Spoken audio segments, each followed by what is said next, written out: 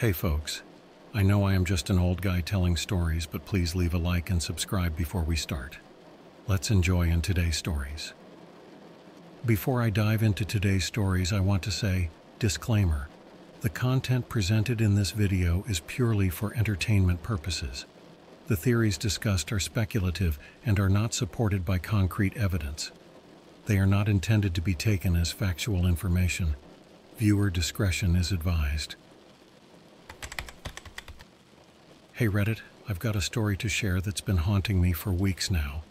I'm not even sure why I'm writing this. Maybe to get it off my chest, maybe to warn someone, or maybe just to see if anyone else has had a similar experience. I'm 26, and when I'm not driving for Uber, I've got this strange hobby of diving into the dark web. Yeah, I know it sounds cliche and stupid, but there's something about the anonymity and the sheer mystery of it that keeps drawing me back. It's like exploring a forbidden library where each book is a glimpse into the most hidden corners of the human psyche. It all started a few years ago when I was introduced to the concept by a friend. He showed me how to access it using Tor, and I was hooked. Most of the time, it's just a bunch of weird forums, marketplaces selling God knows what, and conspiracy theory websites. I never buy anything or interact much. I'm more of an observer. I know there are risks, but I've always been careful, or at least I thought I was. A typical night for me after a long shift driving people around is to come home, grab a beer, and fire up my laptop. The dark web is like my late night TV. It's my way to unwind. I know it sounds twisted, but there's something about the dark underbelly of the internet that fascinates me. You see the worst and the weirdest of humanity, but also the most hidden truths, or at least what some people claim to be truths. One night, after a particularly grueling day, I decided to do my usual routine. The rides were relentless, filled with drunk partygoers, awkward conversations, and the never ending smell of fast food lingering in my car. By the time I got home, I was exhausted. I cracked open a cold one, fired up my laptop, and went deeper into the web than I usually do. I wasn't looking for anything specific, just surfing, clicking random links, and seeing where they took me. About half an hour in, I stumbled upon a blog that stood out. It was different from the usual conspiracy junk and scammy looking sites. The design was simplistic, almost clinical, and the title was in bold red letters Project Lucid, the military's darkest secret. My curiosity piqued instantly. I had heard rumors about the military experimenting with all sorts of bizarre stuff, but lucid dreaming? This was new. The blog claimed to be an insider's account of a classified military project focused on lucid dreaming. I should have clicked away right then, but I didn't. Instead, I started reading, and what I found was more disturbing than anything I had ever come across on the dark web before. The story was detailed, filled with jargon and references to military protocols that seemed legitimate.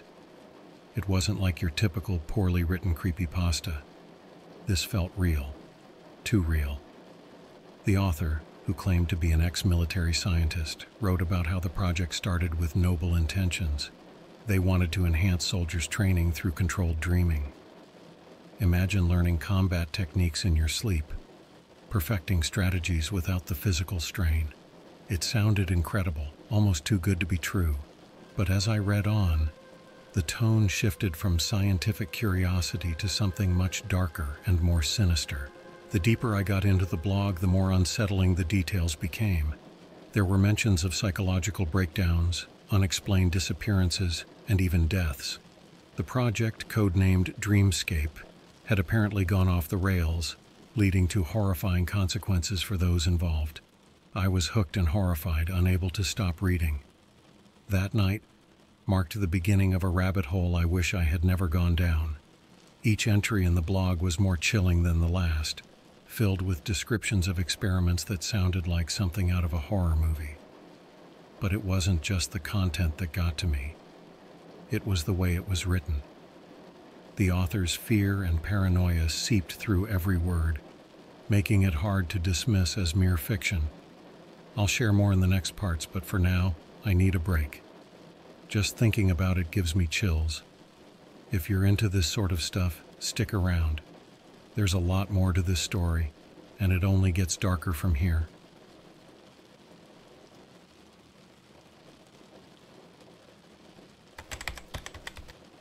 After a long day of driving for Uber, dealing with the usual mix of passengers and the constant drone of the city, I was more than ready to unwind. My car reeked of stale fast food and spilled drinks, and my nerves were frayed from the ceaseless small talk. By the time I got home, it was nearly midnight. I sank into my worn out couch, grabbed a beer from the fridge, and powered up my laptop. It was time for my usual ritual of dark web exploration. Scrolling through the dark web has always been a peculiar solace for me. It's like sifting through a twisted digital archive of humanity's most secret and bizarre obsessions. That night, I wasn't looking for anything specific, just the usual thrill of the unknown. I clicked through various links, each one taking me deeper into the abyss. The clock ticked past 1 a.m. as I ventured further into the shadowy corners of the internet.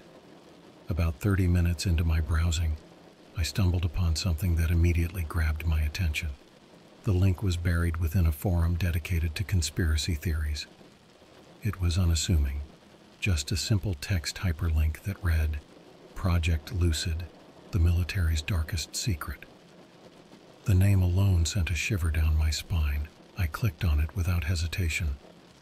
The page that loaded was stark and minimalist, almost sterile. The title was emblazoned across the top in bold red letters. Beneath it was a series of blog entries, each one meticulously dated and detailed. As I started reading, I realized this wasn't just another conspiracy theory. The writing was precise, filled with technical terms and references that felt disturbingly authentic. The first entry introduced the project, codenamed Dreamscape, and outlined its goals. The military had been experimenting with lucid dreaming, hoping to create a new form of training for soldiers. The idea was to use lucid dreams as a way to perfect combat techniques, strategies, and even language skills, all within the safety of one's own mind. It sounded revolutionary, almost too good to be true, and as with anything that sounds too good to be true, there was a dark side. The blog's author, who claimed to be an ex military scientist, described how the project started with high hopes and rigorous scientific protocols. The initial tests showed promising results. Soldiers were able to achieve lucid dreaming states more reliably, and their dream based training seemed to translate into real world skills. But it wasn't long before things began to unravel. The deeper I delved into the blog, the more unsettling the details became. The lucid dreaming experiments were not without their side effects. Soldiers reported experiencing intense nightmares, sleep paralysis, and disturbing hallucinations. Some even started to lose their grip on reality, unable to distinguish between their dreams and waking life. The line between the two blurred in the most terrifying ways. One entry described a soldier who had been a star subject in the early phases of the project. He was able to control his dreams with remarkable precision, mastering complex maneuvers and combat techniques. But then he began to suffer from vivid, recurring nightmares. He claimed that in his dreams, he was being hunted by shadowy figures, faceless and relentless. The nightmares grew worse, invading his waking hours. He became paranoid, convinced that the figures were following him in real life. His mental state deteriorated rapidly, and he was eventually discharged from the project. The blog hinted that he had disappeared shortly after. I was hooked, unable to tear my eyes away from the screen. Each entry painted a picture of a project spiraling out of control, with increasingly dire consequences for the soldiers involved. The author's tone grew more frantic with each post, his fear palpable through the words. He detailed how the project leaders ignored the warning signs, pushing forward in their quest for success. As the night wore on, I couldn't shake the feeling of dread settling over me. The more I read, the more I felt like I was being watched, like the shadows in my room were growing darker and more oppressive. The words on the screen seemed to pulse with a life of their own, dragging me deeper into the nightmare that was Project Lucid. I finally forced myself to stop reading around 3 a.m. My heart was racing and my hands were trembling. I closed my laptop, but the images and words from the blog lingered in my mind.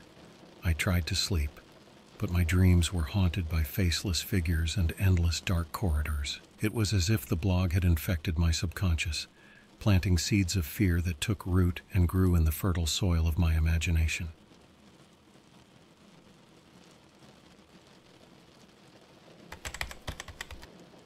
Despite the unease that had settled in my mind, I couldn't resist diving back into the blog the next evening. There was something about the story that compelled me to continue, like a moth drawn to a flame. I opened my laptop, navigated back to the dark web, and found the blog again. I resumed reading, eager and anxious to uncover what happened next in Project Lucid. The entries that followed delved deeper into the methods used by the military to induce lucid dreaming. According to the author, the researchers had developed a special medicine, a cocktail of substances designed to enhance the brain's ability to achieve and maintain a lucid dreaming state. The concoction was a closely guarded secret, its exact composition known only to a handful of top scientists within the project. The initial results were promising. Soldiers who took the medicine reported a significant increase in their ability to control their dreams. They could manipulate the dream environment, practice complex tasks, and even simulate combat scenarios with startling clarity. It was like having a virtual reality training program inside their heads. The military was thrilled with the progress, seeing limitless potential in this new form of training. However, the blog also detailed the darker side of these experiments. While the medicine enhanced lucid dreaming, it also had unforeseen side effects. Some soldiers began to experience prolonged episodes of sleep paralysis, a condition where they were awake but unable to move, often accompanied by terrifying hallucinations. They described feeling a heavy weight on their chest as if someone or something was sitting on them, watching them with unseen eyes. Other soldiers reported vivid, almost lifelike nightmares. These dreams were so intense that they left psychological scars, blurring the line between reality and the dream world. One entry told the story of a soldier named Mark, who had been an exemplary participant in the early phases of the project. Mark's lucid dreams were so clear and controlled that he became the poster child for Project Lucid's success. But then, things took a turn for the worse. Mark began to dream about a dark, endless forest. No matter what he did, he couldn't escape it. Every night, he found himself wandering through the twisted trees, hearing whispers and seeing fleeting shadows just beyond his field of vision. The dreams became increasingly distressing, leaving him exhausted and paranoid during the day. He confided in his fellow soldiers and the project's scientists, but they dismissed his fears as mere side effects of the medicine. Mark's condition deteriorated rapidly. He started to confuse his dreams with reality, waking up screaming and disoriented convinced that the shadows from his dreams had followed him into the waking world. Despite his pleas, the project leaders continued to administer the medicine, determined to push forward. One night, Mark didn't wake up. The blog post hinted at his fate, suggesting that he had slipped into a coma, lost somewhere between the dream world and reality. Reading about Mark sent chills down my spine. The blog entries became more frantic, with the author describing how more and more soldiers were succumbing to similar fates. The medicine that had once been hailed as a breakthrough was now seen as a curse, trapping its users in a nightmarish limbo. The project was spiraling out of control, and the scientists were at a loss, unable to reverse the damage they had caused. The author's desperation was palpable he recounted how he had tried to warn his superiors to shut down the project before more lives were ruined. But his warnings fell on deaf ears. The military was too invested in the potential benefits to acknowledge the growing body count. The blog ended abruptly, with the author hinting that he was being watched and that his life might be in danger for revealing these secrets. I closed my laptop, feeling a heavy weight settle in my chest. The story was too bizarre, too horrifying to be true, yet it was written with such conviction and detail that I couldn't dismiss it outright. I couldn't shake the feeling that there was some kernel of truth buried in the madness, and I knew I had to keep digging, to find out what really happened to the soldiers of Project Lucid.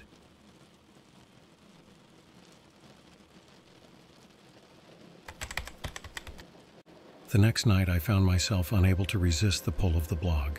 Despite the growing dread that gnawed at my insides, I had to know more. I fired up my laptop, navigating back to the dark web, and resumed reading the entries of Project Lucid. This time, the focus shifted to an even more unsettling aspect of the experiments astral projection. According to the blog, the military's foray into lucid dreaming had inadvertently opened a doorway to this phenomenon. For the uninitiated, astral projection is the supposed ability to consciously leave one's physical body and travel in a spirit form, exploring the world, or even other realms. At first, the project's leaders were thrilled. They saw astral projection as the ultimate espionage tool. Imagine being able to gather intelligence without ever leaving the safety of a secure facility. Soldiers trained in lucid dreaming began to report experiences where they felt themselves floating above their bodies, able to move freely through space and even pass through walls. The military was eager to harness this newfound ability the blog described in chilling detail how soldiers were encouraged to explore their astral selves. They were given specific targets to observe and report back on. Initially, the results were astonishing. Soldiers returned with detailed descriptions of far off places, conversations overheard, and layouts of enemy compounds, all seemingly verified by subsequent intelligence. But as with the earlier phases of the project, the success was short lived. The author recounted how soldiers started to encounter strange, malevolent entities during their astral travels. These entities, described as shadowy figures or dark presences, seemed to be aware of the soldiers' intrusions into their realm. Encounters with these beings often left the soldiers deeply shaken, their mental states deteriorating rapidly. One particularly harrowing entry detailed the experience of a soldier named Tom.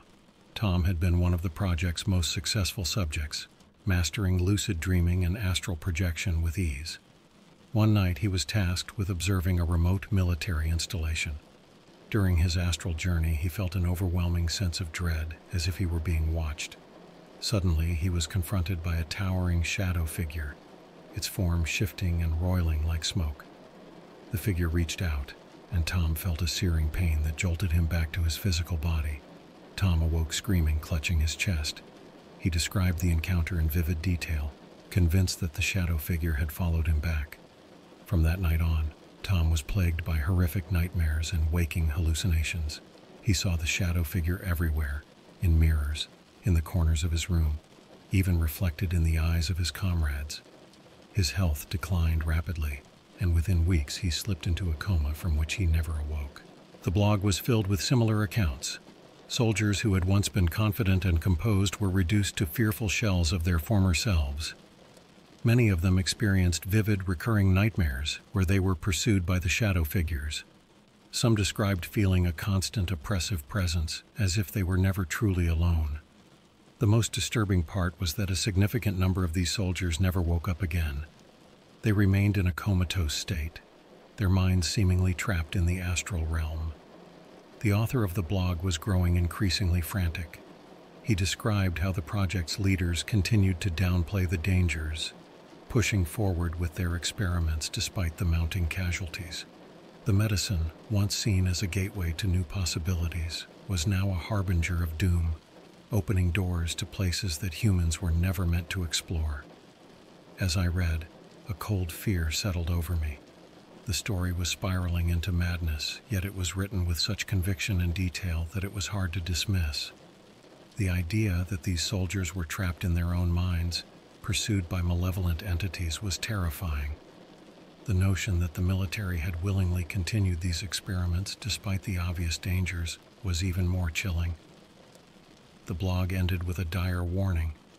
The author pleaded with readers to stay away from the medicine from the idea of lucid dreaming for military purposes. He warned that the dark web was full of secrets that were never meant to be uncovered, and that some doors, once opened, could never be closed. I closed my laptop, my mind racing. The story had taken a turn into the truly horrifying, and I couldn't shake the feeling that there was more to it than just a wild conspiracy theory. The dark web was a place where anyone could post anything, but this felt different. The fear and desperation in the author's words were too real to ignore.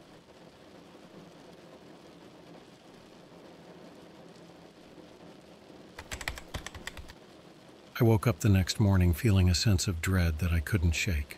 The story I had read haunted my thoughts, casting a dark shadow over everything I did. The blog had left me with more questions than answers, and I felt an overwhelming urge to dig deeper, to find out if there was any truth to the terrifying claims made by the author. Over the next few days, I scoured the dark web for any additional information on Project Lucid. I visited forums, read through countless conspiracy theories, and even reached out to a few contacts who were more knowledgeable about the murkier parts of the internet. Most of what I found was the usual mix of paranoia and fantasy, but there were a few threads that seemed to corroborate parts of the blog story. One forum post, buried deep within a thread on military experiments, mentioned a project that sounded eerily similar to Dreamscape. The poster claimed to be a former soldier who had heard rumors about a top secret program involving lucid dreaming and mind control. He spoke of comrades who had mysteriously disappeared and strange medical treatments that left participants changed in unsettling ways. While it wasn't definitive proof, it was enough to keep me hooked. I began to piece together a picture of what might have happened. The military, always on the lookout for new ways to gain an edge, had stumbled upon the potential of lucid dreaming they had pushed the boundaries of what was possible, using a combination of drugs and psychological conditioning to enhance their soldiers' abilities. But in their quest for superiority, they had opened doors that were better left closed, doors that led to dark and dangerous places. The more I read, the more I began to realize that the truth might never be fully known. The dark web is a place where reality and fiction blend seamlessly, where anyone can post anything, and where the most outlandish stories can sometimes have a kernel of truth. It was entirely possible that Project Lucid was a fabrication, a complex and detailed work of fiction designed to entertain and scare. But it was also possible that it was real, that the military had indeed dabbled in areas that were beyond their understanding, with horrifying consequences. As I reflected on everything I had learned, I felt the need to share a disclaimer both for myself and anyone else who might stumble upon the story. The dark web is a treacherous place filled with misinformation and danger. It's easy to get lost in the shadows, to believe in the most terrifying tales, but it's crucial to remember that not everything you read is true. Conspiracy theories can be compelling, but they are often just that theories. In the end, I decided to take a step back from the dark web the story of Project Lucid had shaken me deeply, making me question my own fascination with the hidden and the unknown. I realized that some things are better left undiscovered, some doors better left unopened. The dark web had shown me a glimpse of a world that was both fascinating and frightening, and I wasn't sure I wanted to venture any further into its depths. To anyone reading this, I urge caution. The internet is a vast and mysterious place, and the dark web is its most enigmatic and dangerous part. Whether Project Lucid is real or not, the fear it inspired in me was very real. Sometimes it's better to let the shadows remain shadows and to find peace in the light of day. As for me, I've gone back to my regular life, driving for Uber and trying to forget the horrors I read about. But every now and then, when I'm alone at night, I can't help but think about the soldiers who might still be out there, trapped in their dreams hunted by shadows. Also, now I am scared to try to lucid dream. I was trying to do it as well. I mean, no medications or whatever. But I really wanted to control my dreams. And of astral projection, I don't know if that thing is real, but it really scares me now. Before I finish, I have to mention this one more time. This is all just a conspiracy theory until it is proven. Anyone can write stuff like this. Viewer discretion is advised, or in this case, listener, I guess. Okay, enough from me. Thanks for listening.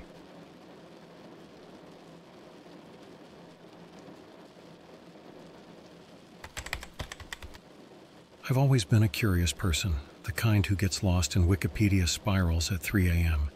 digging through article after article about random, obscure topics. But it wasn't until I stumbled upon the dark web that I realized just how deep the rabbit hole could go. Now, before you judge, let me clarify. I wasn't looking for anything illegal or disturbing.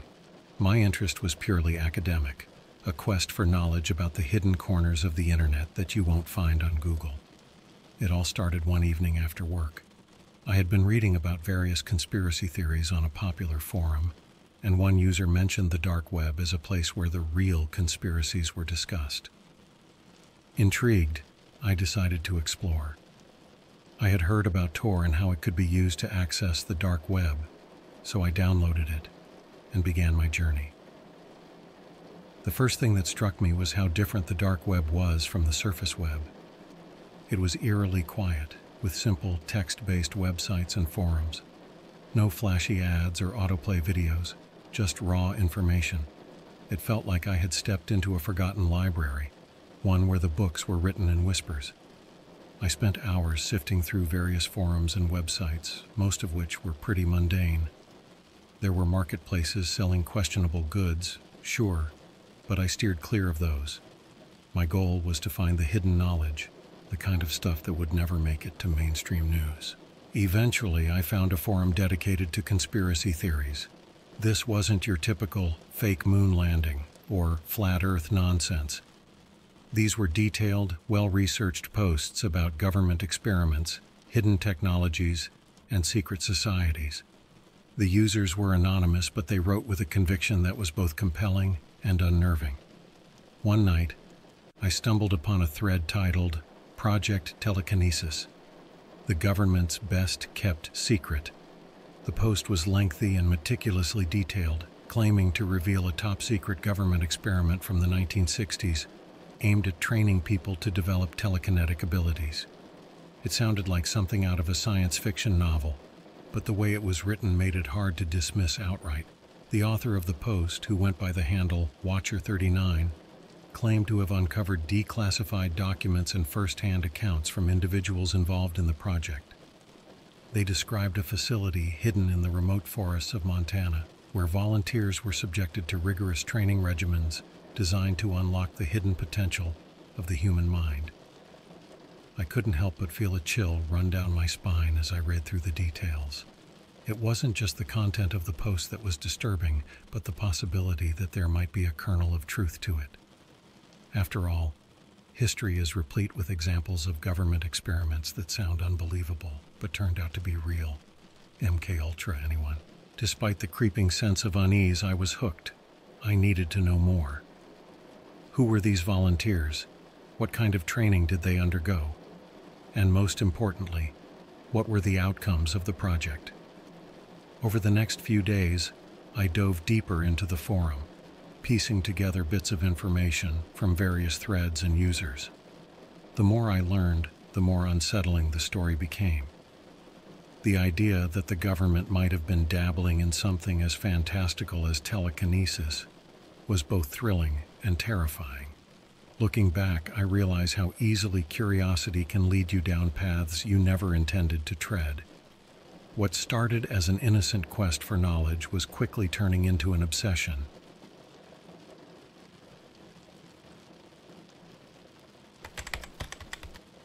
My fascination with Project Telekinesis grew each day.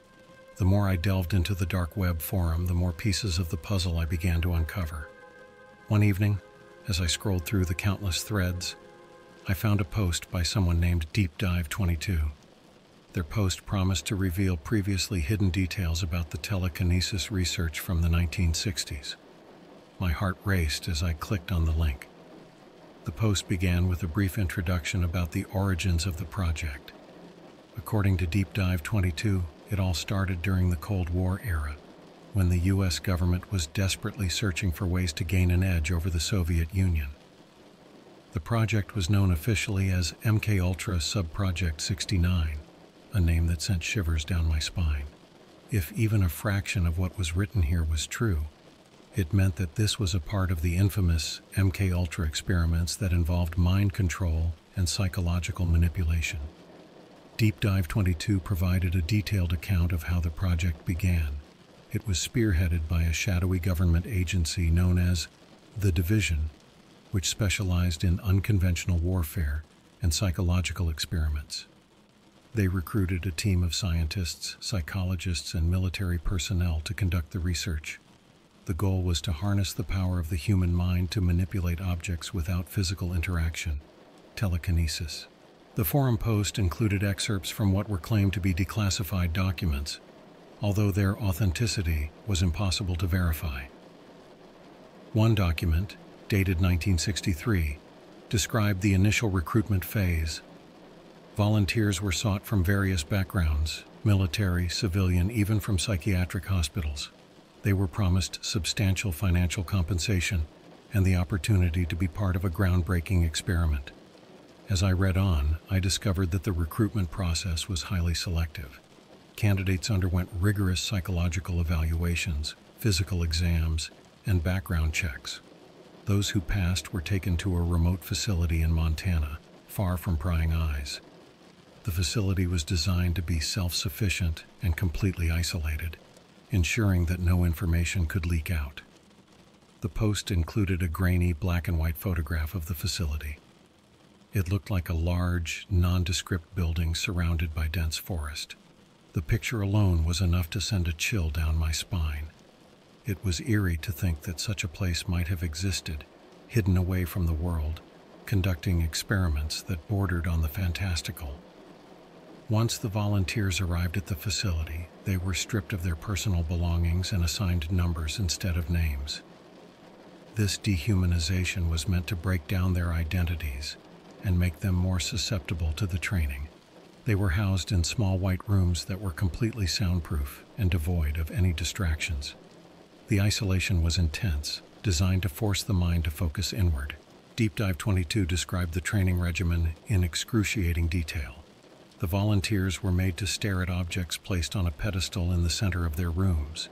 They were instructed to clear their minds and visualize the objects moving solely through the power of their thoughts.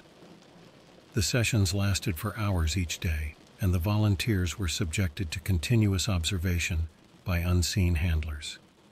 To aid in their focus, the volunteers were given a drug referred to only as Compound X. The post was vague about the nature of this substance, but it was described as a powerful psychotropic designed to enhance mental concentration and reduce physical fatigue. The side effects, however, were severe hallucinations, paranoia, and in some cases, complete mental breakdown. Reading this, I felt a knot form in my stomach. The idea of people being subjected to such extreme conditions, all in the name of scientific discovery, was deeply unsettling. Yet I couldn't tear myself away from the story. It was like watching a car crash in slow motion, horrifying, but impossible to look away from. The post concluded with a tantalizing hint that there was more to come. Deep Dive 22 promised to reveal the outcomes of the project in their next post, including the fate of the volunteers and whether any of them had actually developed telekinetic abilities.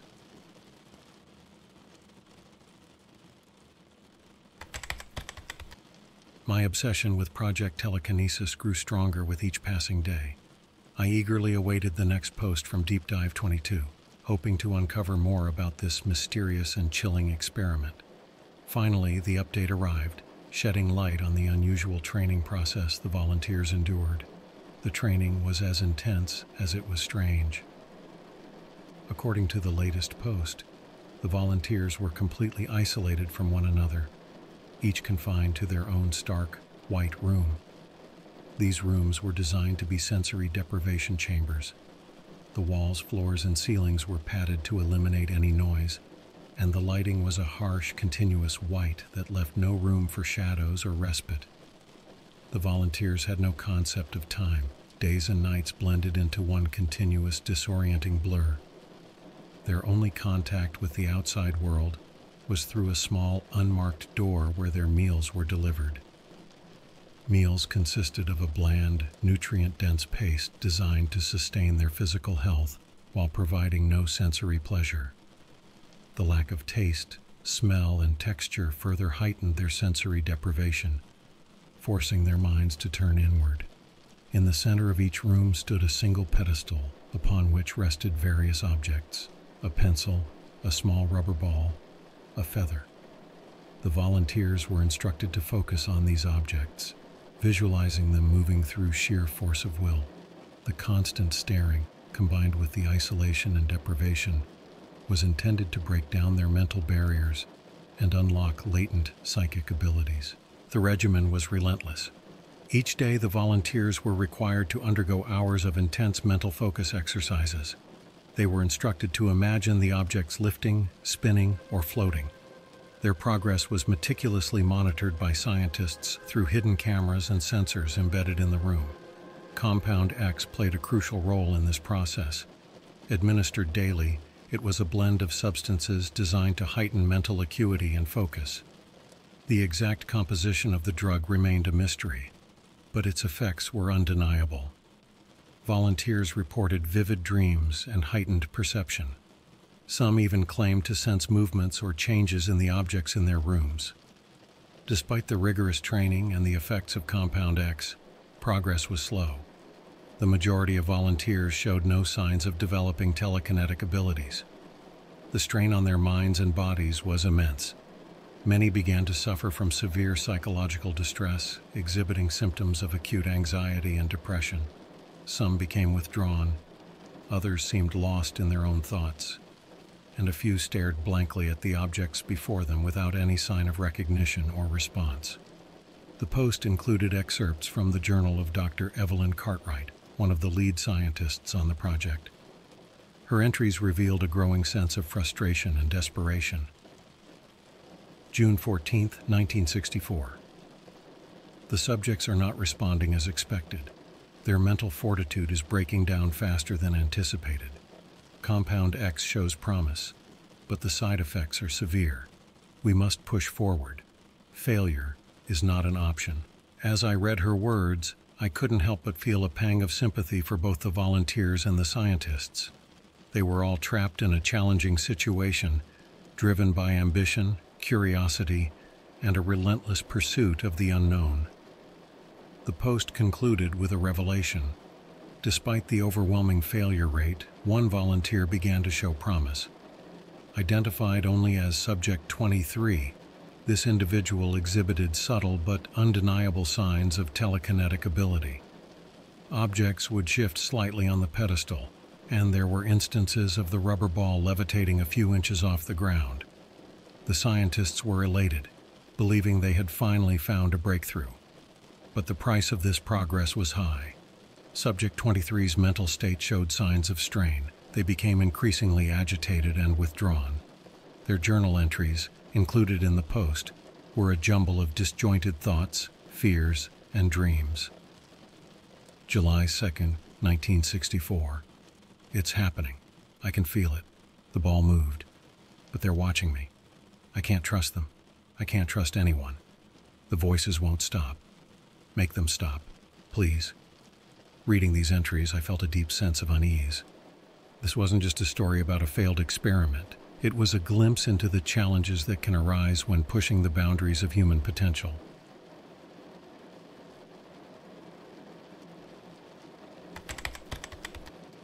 The anticipation for Deep Dive 22's next post was palpable. Each day I checked the forum, waiting for new insights into the fate of the volunteers in Project Telekinesis. When the update finally appeared, it was even more disturbing than I had imagined. According to Deep Dive 22, the final phase of the experiment took a tragic turn. The prolonged isolation, intense mental exercises, and the effects of Compound X began to take a heavy toll on the volunteers. Their mental states deteriorated rapidly, leading to severe psychological issues. The once hopeful and curious individuals became shadows of their former selves. Dr. Cartwright's journal entries became increasingly bleak. August 5, 1964. The strain is too much for most of the subjects. Many have stopped responding altogether. They sit in their rooms, motionless, their eyes vacant. It's as if their minds have shut down completely. We are losing them. August 12, 1964. Subject 23 is the only one showing signs of progress, but at what cost? The agitation is worsening. Subject 23 has become volatile and unpredictable. The telekinetic abilities are undeniable, but the psychological toll is severe. Deep Dive 22 described how the volunteers, one by one, fell into states of complete mental shutdown. They stopped talking, moving, or showing any emotion. It was as if their minds had simply given up, unable to cope with the relentless pressure and isolation. The scientists were at a loss. The project that had promised so much had instead resulted in a profound tragedy, except for one. Subject 23, despite the severe psychological strain, had managed to develop telekinetic abilities. The post included detailed accounts of small objects moving under Subject 23's focus. A pencil rolling across a table, a feather floating midair. These were not just random occurrences, but deliberate actions controlled by the mind. The scientists were both thrilled and horrified by this development. However, the success came at a steep price. Subject 23's journal entries revealed a person on the brink of madness, struggling to distinguish between reality and the hallucinations induced by Compound X. August 20th, 1964. I moved it again today. The pencil. It rolled across the table. I should be happy, but I can't shake the feeling that they're watching me. They whisper when I close my eyes. I can't sleep. I can't think. Why won't they stop? August 28th, 1964. I made the feather float today. It was beautiful, like a dream. But the voices are louder now. They tell me things, horrible things. I don't know what's real anymore. I'm scared. I just want it to stop. As I read these entries, a chill ran down my spine. The idea of unlocking such a power only to lose one's sanity in the process was deeply unsettling. It was a stark reminder of the potential dangers of pushing the human mind beyond its limits. Deep Dive 22's post concluded with a grim statement. All but one of the volunteers ended up in permanent catatonia, their minds unable to cope with the strain. Subject 23 was the only one to achieve telekinesis, but at the cost of their mental stability. The project was deemed a failure and subsequently buried, the records sealed away from the public eye. The story of Project Telekinesis was both fascinating and horrifying. It painted a picture of human ambition taken to extreme lengths, with disastrous consequences. Despite the incredible achievement of telekinesis, the human cost was too high to justify the means.